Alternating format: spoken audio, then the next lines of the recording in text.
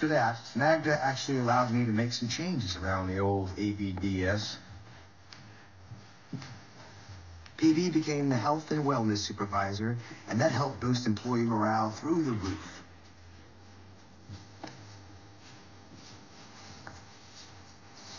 Now that Lenny was flying free, he became a one-man centralized processing system. Oh, look at him go. Bertha and Leo, well, they were natural safety and security officers.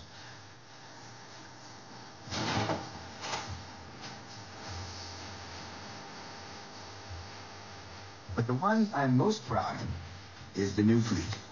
Now anyone can be top animal, not just dogs, because everyone has something unique and special to offer. Who's ready for some serious rock climbing? That's what I was born to do, boss. Hey, looking good, guys.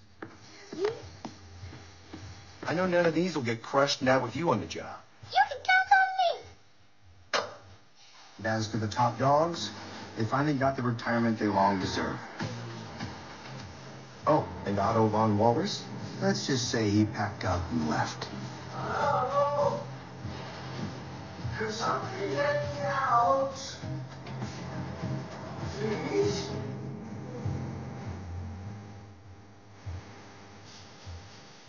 This?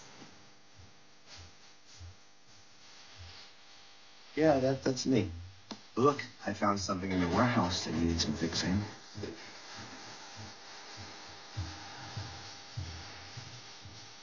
Things do come true, though not always the way you expect them to. In the end, it took someone special to help me see that.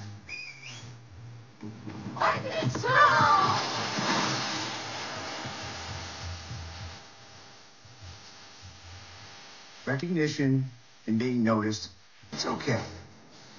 Well, a little bit more than okay. But what really matters is doing what you can, however big or small, to make the world a better place and being true to yourself along the way.